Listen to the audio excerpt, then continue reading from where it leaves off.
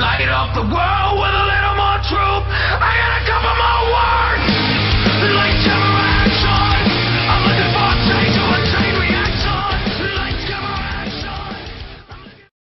What is up, guys? It is Nistro here, and today we got ourselves some new, pretty hype dinosaur support. I mean, honestly, it's not that hype. It's uh, pretty mediocre, in my opinion.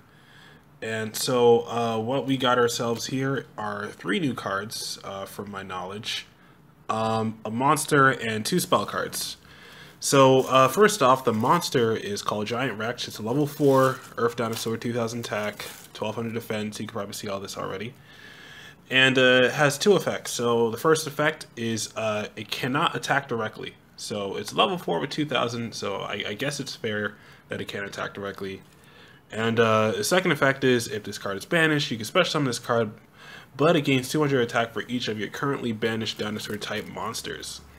So uh, this is definitely something interesting um, because uh, we all know how Miscellaneousaurus works, and we all know how Ultimate Conducting Tyranno works. They both banish to either to summon out, you know, uh, in Ultimate Conducting Tyranno's case itself, or Miscellaneousaurus's case, um, another dinosaur. So uh, if you're banishing four from your graveyard to activate Miscellaneous or Miscellaneousaurus, it's such a tongue twister name, um, and then you special summon the level four dinosaur from your deck.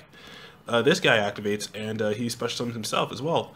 And uh, the best part being is that um, since you can play multiple copies of these, you know, like uh, although it's only once per turn, um, you can like keep one in your graveyard for the next turn if you get another Miscellaneousaurus engrave for the next turn, and then summon out another one. Uh, it's pretty nice. I like I would use it for an overlay rather than use it to attack, because more often than not, you're you're gonna go into Ultimate Conducting Tyranno and just use his effect to put everything face down. And since Ultimate Conducting Tyranno clears the board pretty much, if this guy can't attack directly, he's not really all that useful. And so he's more of useful for uh, overlaying for like a Laggia or Dolkka rather than staying on the board for um, himself. So next we have a the first spell card. It's a normal spell, Space Time Transcendence and you banish two or more dinosaur type monsters from your graveyard, special summon one dinosaur type monster with the same level as the number of monsters banished from your hand or graveyard, but it cannot attack this turn.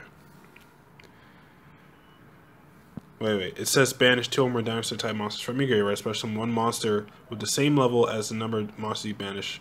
Oh, from your hand or graveyard. I thought it said uh, that you banish from your hand or graveyard, but special summon a monster equal uh, with a same number as you banish. So it's kind of like a Miscellaneousaurus, except um, a spell card, and the monster can attack either.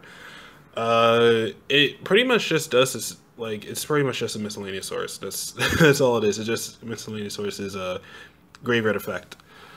Um, but it summons from the hand or graveyard and not from the deck, which honestly I don't think is too necessary. Um, for me, uh, as far as I plus it play tested uh, dinosaur so far, um, usually uh, I like to use my resources from the deck and not really from the hand or graveyard. Um, usually the graveyard I just keep stacked for miscellaneous or no, not for miscellaneous for Oviraptor and for um, Ultimate Conductor Tyranno. I don't like to touch my dinosaurs in grave unless I really have to.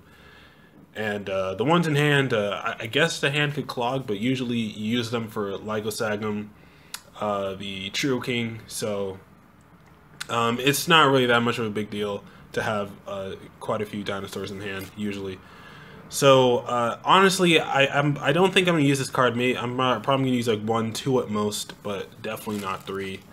Um, I, I really don't think it's that useful, but it can definitely um, like if Miscellaneousaurus ever gets like limited or something, or if, if the deck ever gets hit hard, like this support can definitely help the deck.